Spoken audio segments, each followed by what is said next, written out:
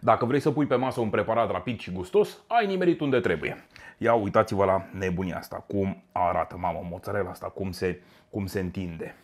Uh, rețeta urmează. Imediat. Hm, cred că e bun și fără carne. Hm. Dar mai rece. Salutare oameni buni și bine ați revenit! Nu știu care e treaba la voi în bucătărie, dar la mine încă mai persistă mirosul de friptură de miel. Am zis că musai să fac ceva și să-l schimb. Cu ăla de porc, de mușchiuleț de porc la cuptor. Așa că m-am gândit la o rețetă rapidă și bineînțeles într-un mare fel. Mușchiuleț de porc la cuptor cu mozzarella și cartofi. O nebunie de preparat. Ingrediente jos în descriere, metoda de preparare urmează. Astea fiind spuse, eu zic să nu mă arde mai să dăm drumul la treabă. Hm. Am aici mușchiulețul, trebuie să-l coafăm puțin, nu o să-l pun pe tot, dar o să vă explic imediat cum stă treaba. Așa, cum vorbeam, de coafat. Trebuie să scăpăm de pielița asta albă. Îi uh, degeaba pe mușchiuleț. Uh, se întărește și hmm, nu prea îi așa comestibilă. Îi mai tăricică când îi prăjită, când îi perpelită sau și coaptă, bineînțeles. Mai am o bucățică pe aici și am terminat. Gata, asta micuță. Uh, nu o să-l folosesc pe tot, pentru că vreau să mai fac uh, ceva cu mușchiulețul ăsta. Așa că o să iau frumușel capetele, bucățica asta și codița. Capul și coada, până la urmă.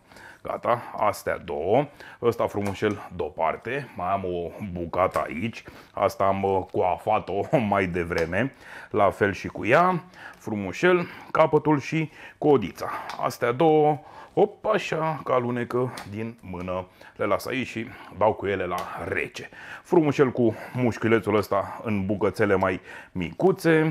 Ia, am păstrat cuțitul ăsta de fasonat. Nu mai stau să murdăresc altul acum. Mai am două, trei bucățele și am terminat. Bine, nu-i musai să folosiți mușchiuleț de porc, dar mie îmi place mai mult ăsta pentru că îi mai fraged, se gătește mai repede. Puteți folosi pulpă, uh, chiar ceafă, merge și aia. Mai slăbuț, așa. Continuăm cu o ceapă. Ia să dau eu frumușel cu șervețelul pe tocător. Iau alt cuțit și asta frumușel julien. Nici prea groasă, nici prea subțire ceapă albă roșie sau de care vreți și voi să folosiți, de care aveți prin casă. Frumușel cu ea lângă mușchiuleț, nor să intre toate în același timp în tigaie, așa că mai răsfirate să le putem adăuga pe rând. Usturoi, am aici vreo, cât să zic, hai, patru căței de usturoi. Musai și usturoiul ăsta ca să dea gust mâncăricii. Și știți, mie îmi place usturoiul. Zdrobim și trecem odată cuțitul prin el. Nu îl vrem foarte, foarte mărunt tocat. Ăsta merge lângă ceapă pentru că va intra în același timp în tigaie. Frumușel aici, îl amestecăm cu ceapa și cam atât am avut de pregătit, de tăiat, de tocat. Avem nevoie de o tigaie mai măricică așa, mai adâncă să ne putem desfășura în ea. Frumos pe plită, la loc de cinste, focul să fie mediu spre mare o așezăm o lecuță să nu se dea dadura, după care o stropim cu foarte puțin ulei de măsline. Două linguri, nu mai mult. Împrăștia stânga-dreapta, perfect, suficient. O lăsăm la, hop așa că e o frunzuliță de aia, o coșiță de usturoi. O lăsăm la încins undeva la 30-40 de secunde, nu mai mult, după care venim prima dată cu mușchiulețul de porc. Am și pielița aia aici pe tocător să scap de ea. Cum spuneam, mușchiulețul de porc împrăștiat. Ia să vedem, s-a încins uleiul. Perfect. Nu vrem să sfârie foarte, foarte tare. O să se încingă tigaia asta imediat. Nu e asta problema. Pam, pam, îl împrăștiem o lecuță să mă clătesc și eu pe mânuță. Fac și rime de data asta. O să avem nevoie de o paletă, o lingură de lemn să amestecăm. Toată treaba aici indica eu să o dureze undeva la 3, 4, 5 minute maxim. Cum spuneam, trebuie să amestecăm din când în când, dar cred că îi mai indicat cu tigaia, așa să arunc prin bucătărie, să arunc prin bucătărie, să Ați înțeles voi la ce mă refer. Așa, am amestecat puțin, venim cu sare, asta pune și voi după gust, nu trebuie să vă luați după mine, suficientă și bineînțeles cu piper proaspăt râșnit. Ăsta la fel, după gust. Cu cât e mai mult piperul, cu atât preparatul va fi mai picant, o lecuță și mai gustos. Ia să amestecăm sarea și piperul pe aici. Ia uitați-vă ce repede se prăjesc cubulețele astea de mușchiuleț. Ce repede se perpelesc. A început nebunia în tigaie. Când vedeți că a început să prindă puțină culoare, e momentul să adăugați și voi ceapa și usturoiul. Frumușel, opa, așa, să nu dărâm tigaia. Frumușel toate la grămadă. Asta vreau să, să zic. Ia, mai am aici două bucățele pe tocător. Amestecăm, împrăștiem și ceapa și usturoiul pe aici și mai lăsăm încă 2 minute, 2 minute și jumătate la prăjit. Să se înmoaie ceapa și să se prăjească o lecuță și usturoiul, să prindă gust mușchiulețul ăsta de ceapă și de usturoi. De cei mai bun din tiga asta. Bine, nu cred că cei mai bun, cei mai bun va urma mozzarella. Iar fac grime. Ia să vedem care e treaba aici, că miroase prea bine. Mai aruncăm așa mușchiulețul ăsta prin tigaie, împreună cu ceapa și cu usturoiul, perfect, perfect gătite. Acușica. Acușica e acușica. Venim cu o mână mai babană de cartofi. I-am curățat, i-am pus la fiert în apă cu sare. Atât. Sunt fierți în proporție de 75-80%. Îi trântim și pe ăștia frumos peste mușchiulețul de porc. Ia, mai avem nevoie, oi fi fiert eu prea mulți, prea puțin, nu, posibil prea, prea mulți. Le facem și ăsta la cunoștință cu mușchiulețul, cu ceapa și cu usturoiul. Ia priviți, perfect. Mamă, mamă, ce nebunie, ce bine miroase în ocul ăsta, în tigaia asta adâncă. Imediat am rămas și fără ulei când am adăugat uh, cartofii. Au subt ăștia tot ce mai era pe aici, toată, toată rămășița aia de ulei. Cartofiorii sunt uh, destul de fierbinți în cazul de față. Dacă îi aveți reci, lăsați un pic mai mult uh, la perpelit. Acu, acu, îi acu. Venim cu smântână de gătit, dar înainte lăsăm focul micuț așa, hop, așa că i-am dat la maxim mai uh, de la jumătate spre minim. Să fie focul, să nu, să nu bolborosească smântâna asta prea mult când o adăugăm aici frumos peste cartofi și mușchi. O smântână mai cu 20% grăsime.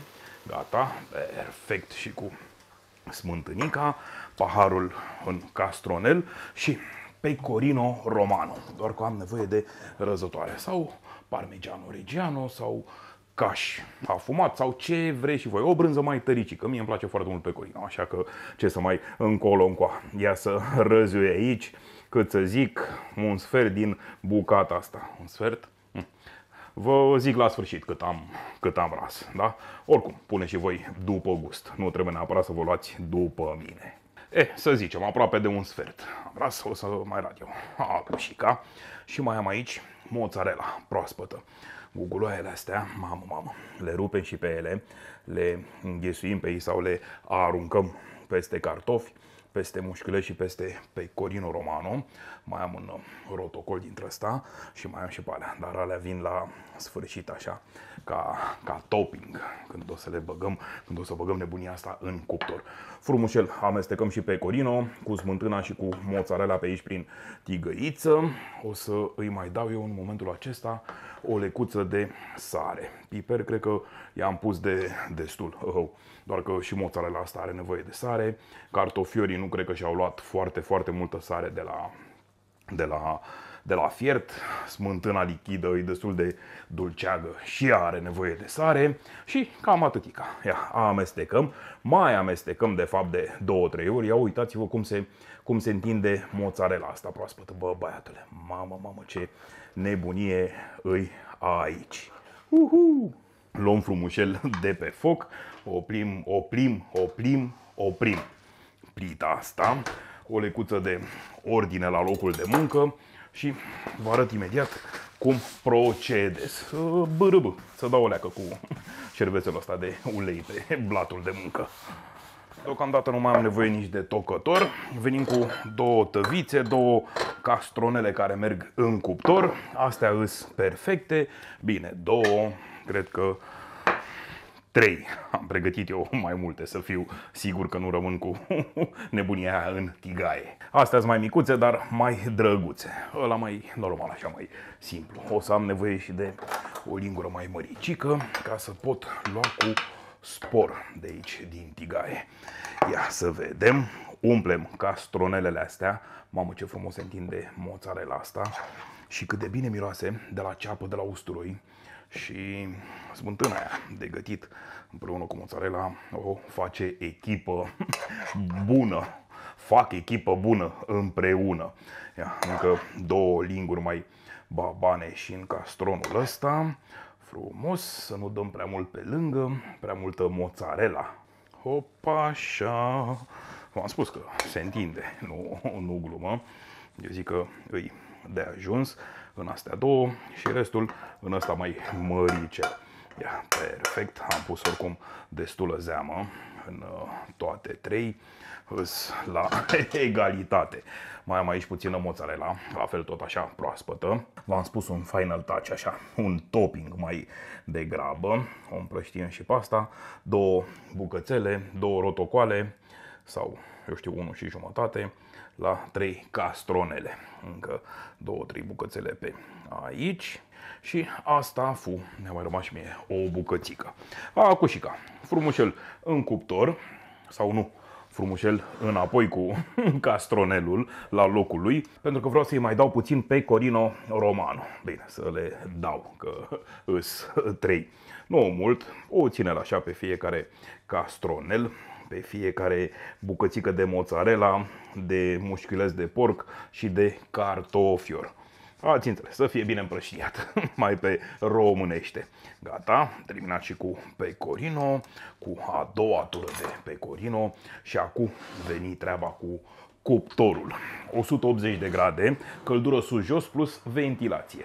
Castronelele astea aruncate în interior, musai să fie încins bine cuptorul, să fie ajuns la 180 de grade, ca să meargă treaba mai repejor, să se topească repede mozzarella aia și să se rumenească cum trebuie pe deasupra.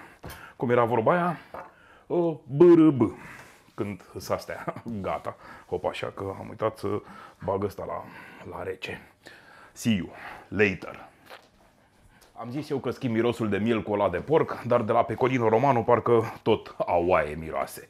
Au stat la cuptor undeva la 15, nu, 17 minute fix. Apoi mușchiulețul lui aproape gătit, cartofii îs fierți, mai aveam nevoie doar să topim mozzarella aia. Ia să vedem ce avem aici, cum scoatem nebuniile astea de tăvițe. Hop, așa că am scăpat cârpa asta de de specială de cuptor.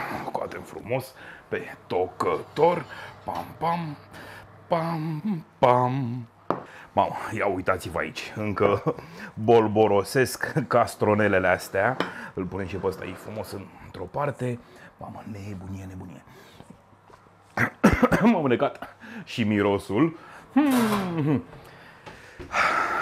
Miroase bine, ce să mai încolo încoa să vedem ce, ce, ce, ce, ce facem. Trebuie să așteptăm, nu avem încotro. Până un alta, până se mai răcesc o lecuță, ăsta îi al meu. E mai gol, nu de alta. Și astea două de prezentare. Bine, doar unul de prezentare, că un preparat trebuie să facem, dar Trebuie să, na, nu știu, astea două sunt ale mele și ăsta îl mănâncă altcineva, văd eu. Îl dau pe la ușă, îl scot la vânzare, îl pun la licitație. Da, vă mai țineam de vorbă ca să se răcească un pic să pot gusta, dar mai bine revin eu în vreo 10 minute.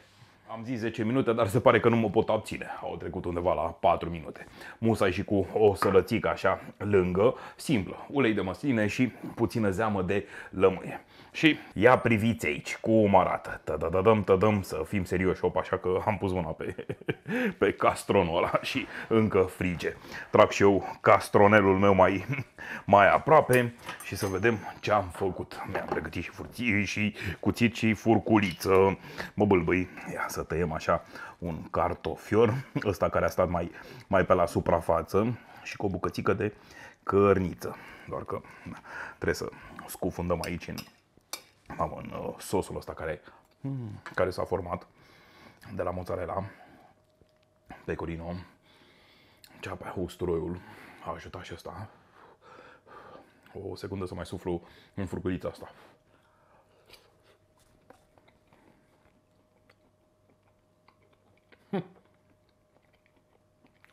Mamă.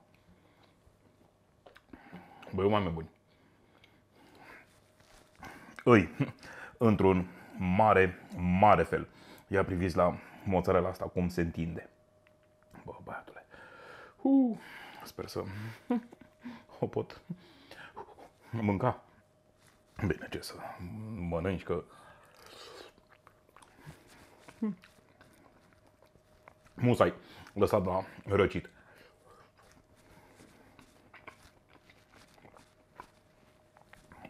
Cât a durat? Dacă te grăbești puțin, undeva la 25 de minute. Și ai nebunia asta de tăviță plină cu o mâncărică delicioasă. Aș vrea să mai gust puțin, dar mi-e frică să nu-mi ard limba. Mamă. Mm. Am luat așa crusta aia de deasupra cu pecorino și cu mozzarella.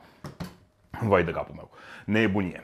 Sper să vă placă și vouă. Așa că nu uitați să dați subscribe, un share, un like, activați clopoțelul acela cu toate notificările pentru a fi la curând cu ce se întâmplă la Arvânescu în bucătărie. Cu nebuniile astea cu care v-am obișnuit. Bă, băiatule. Să se răcească mai repede. Asta, asta vreau. S-a mai încălzit și afară, că o scotam pe geam. Bine, de ăsta de aici, la, la sufragerie. Oh, bye bye, am treabă. Să suflu. Wow. Wow. Wow.